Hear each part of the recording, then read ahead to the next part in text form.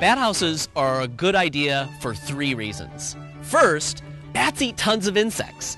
One bat by itself eats 2,000 to 5,000 insects every single night. Another reason is you might like bats. So you might want to put up a bat house just so you could see bats. Bats fly out about 15 minutes after sunset, and you can watch them fly around eating tons of insects. The third reason is you might have bats living in your attic. You might have them living behind your shutters. You might have them living underneath your siding. And bat houses give bats an alternative place to live. Bat house designs come in a variety of sizes and designs. One of the things that you want to keep in mind is that small spaces are important for bats. This is a tall, thin design, one single chamber, but the bats land here on the screen and go up inside to stay protected from predators. Those small spaces keep them protected from things like large birds, raccoons, or even cats. A concrete composite could also be made and actually incorporated into a house, your own house construction. The bats land here and go up inside, stay protected during the day while they sleep. Another great design that you might want to build is called a post design or a rocket box. And what this design does is it allows bats to enter from four different sides. And as the bats are inside the bat house, they can move around. It's a little bit more natural, similar to the loose and peeling bark of a dead tree. You'd put this on the top of a pole about 14 to 18 feet off the ground. What you don't want to do is you don't want to build or buy a bat house that looks a little bit like this. And the reason is, is that this is too open. Those large spaces allow bats to be eaten by predators, and moms would never raise their babies inside here. These houses, these smaller houses are also a little bit too small for a maternity colony. The landing area is smooth, the bats couldn't land, and this small design is more like a birdhouse without a bottom. Don't make or buy one of these. We're going to build this bat house right here. And this is about as small of a bat house as I recommend. You want to make sure that it's got this landing area, small spaces, and we're going to build a bat house next. This is a simple single chamber bat house. They could be made three chamber, five chamber, even 20 chambers if you want to build a really big one. Most people in their backyards probably only need a single chamber bat house. So what we're going to look at here today is this bat house is made out of both plywood and cedar both great materials to build a bat house. This is a full sheet of plywood, exterior grade plywood that's going to be on the back. Now I've already went ahead and stapled on the mesh that goes on here and this is what the bats hold on with their toenails. We're going to use cedar siding and it makes it a lot easier for the bat house to be put together. Now that's angled and including the front top piece is also angled so that the roof will be angled and when it rains, the, the water will run off. Again, we've got mesh put on the inside. You could also cut grooves or score the inside with a knife, and that will also help to make holes or notches for the bats to hold on to. So that front is going to go right on here at the top. All right, you want to make sure you use good high quality screws. And this is important because you don't want the bat house to warp and you don't want it to be too drafty as well. Baby bats need to be kept really warm. And we need to make sure they're also kept dry as well. So we've got the screws set in. I've already pre-drilled the holes. So now I'm just going to go ahead and set those screws in.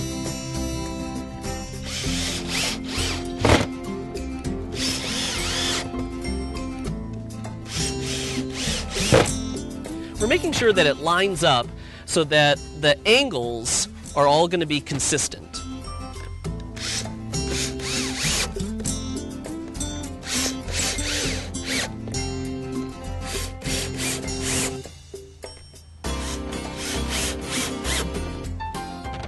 The next piece you're going to put on is the lower front portion. And the lower front portion also has a predator guard on the inside. This is about a three quarter inch piece of wood, and that allows the bat house space at the opening to be much smaller, only about three quarters of an inch. And that's really important for all the bats in North America to stay protected from predators. So this also will go right below here, and we're going to leave a little bit of a gap, about a quarter of an inch, and that helps so that the bat house has a little bit of ventilation towards the bottom. Going to be warmer towards the top and cooler towards the bottom. We're going to set the screws in the same way.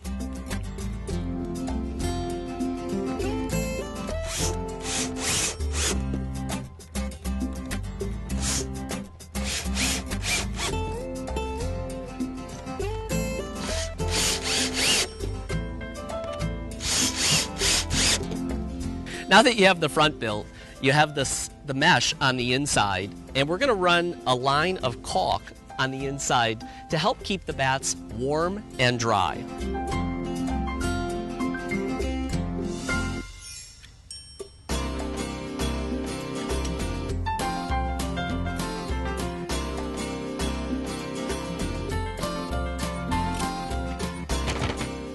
Now we've got it caulked up, and then we're going to lay that front piece flat down. And then we're also going to run a line of caulk on the back.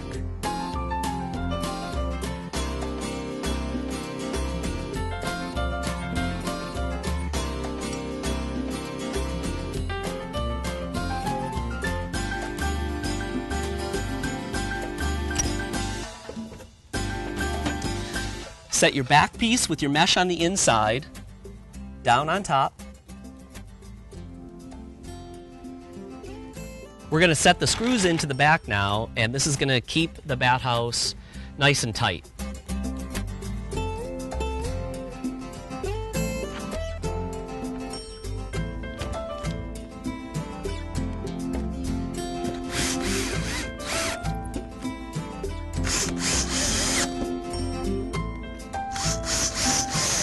It's okay if the caulk comes through a little bit.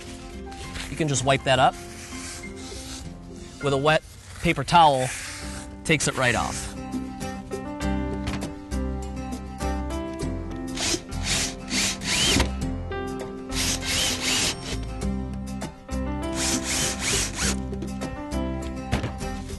Same thing on this side.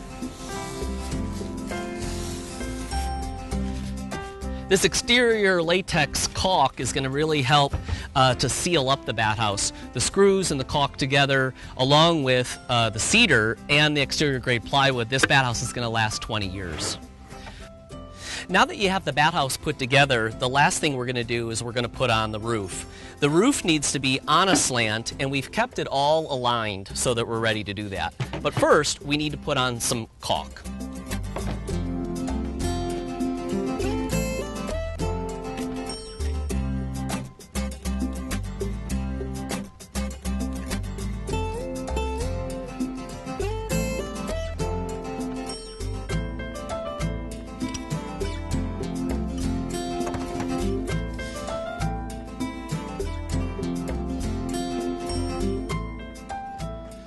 Then the roof goes on.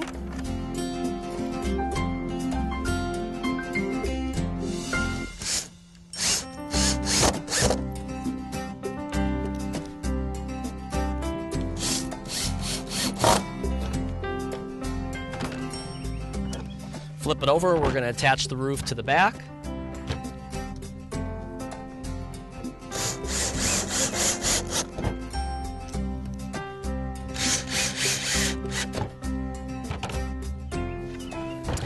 And we've got a finished bat house.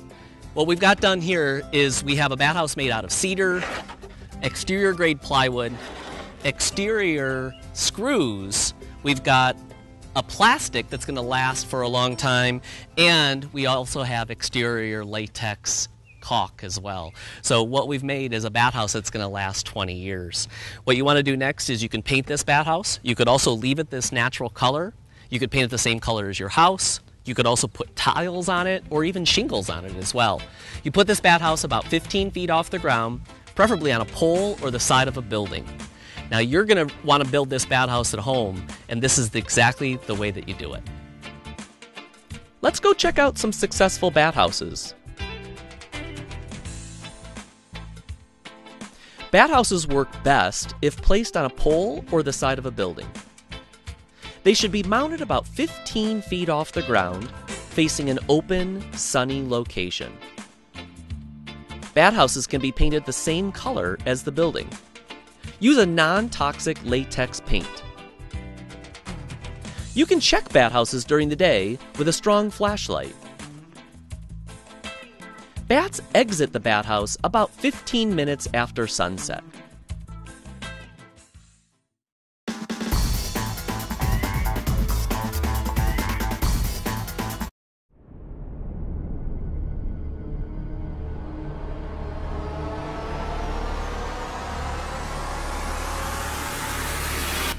Hi, I'm Ben Affleck, and I want to talk to you about one of my favorite species of animals, the bat.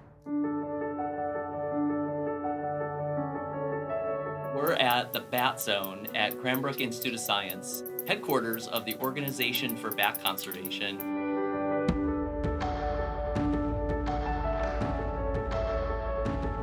We are in one of our enclosures, checking out some of the biggest bats and some of the smallest bats that are here at the Bat Zone.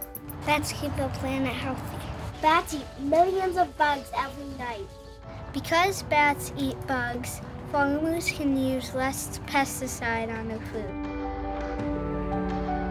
This really big bat right here is Tom, and Tom is a Malayan flying fox. It's the largest bat species in the entire world. The little bat is called an evening bat. One of the biggest problems in North America is that insect-eating bats are dying because of a fungus. And unfortunately, it grows on bats while they hibernate during the winter. Millions of bats are dying each year. So far, a disease called white nose syndrome has killed about 6 million bats in North America. Essentially, these bats are on the verge of completely dying out. Not only would we lose an extraordinary species, the death of our bats would be catastrophic to our ecosystem. There was just this little blurb in the news I saw about bats getting this thing called white nose fungus.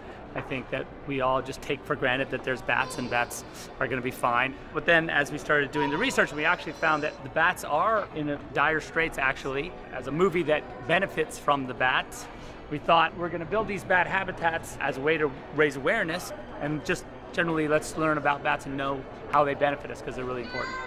Bat houses give healthy bats a safe place to raise their babies and that gives bats a fighting chance to repopulate. Plus, putting up a bat house is a fun thing to do with kids. Hashtag save the bats. All right, let's go paint some houses. It's gonna be some very happy bats.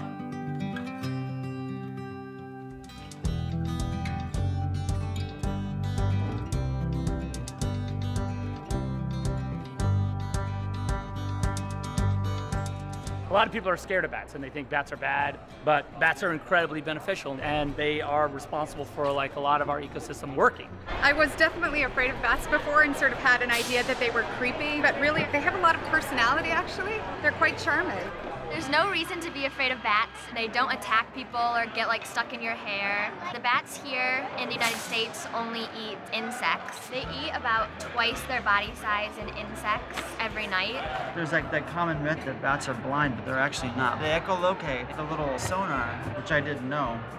I did learn that there's a, that they're the only flying mammal. Thought that was kind of cool. It sort of made me envious, given humanity's quest to fly. It's to kind of work. So a little cityscape going on here. Gotham skyline meets Bat House. I think it, it's appropriate, you know? Also, um, bat moms prefer if bat babies take off their bat shoes before they come into the bat house. I just found that out too. And also, these are recycled from our set. So Superman and Batman fought within the walls of these bat houses. So maybe buy one, donate to the bats. It's important because all these bats are dying right now.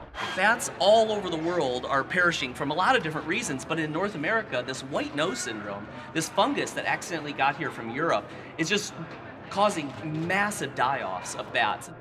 If bats can raise babies that are healthy and they go into hibernation, they're going to be more likely to make it through the next winter. This is the kind of bat right here that we're going to save. This is called the big brown bat. This bat right here, hundreds of bats would be able to live in one bat house. This bat and other species have been dying to the extent that they're on the verge of extinction. But luckily, you can do something to help. SaveBats.org is a place to go to learn more about this and hopefully to contribute some effort toward preserving this important, valiant knight of a species for now and years to come. Thank you.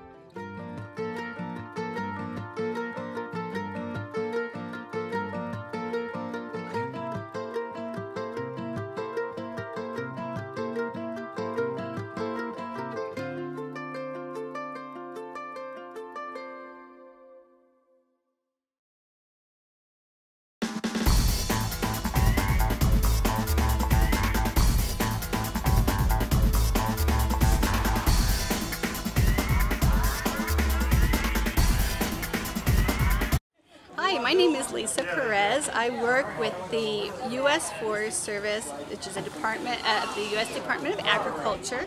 My name is John Bradburn. I work for General Motors and I'm part of a sustainability team that believes in community outreach. And today we're at the Michigan Bat Festival building bat houses.